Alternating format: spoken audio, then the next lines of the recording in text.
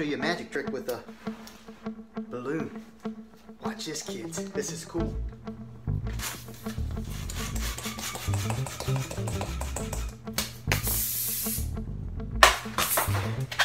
Don't try this at home.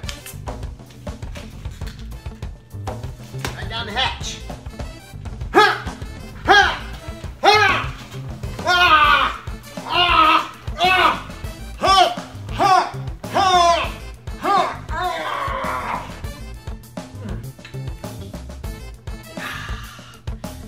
Give me about 40 minutes, I'm gonna make somebody a really cute doggy balloon.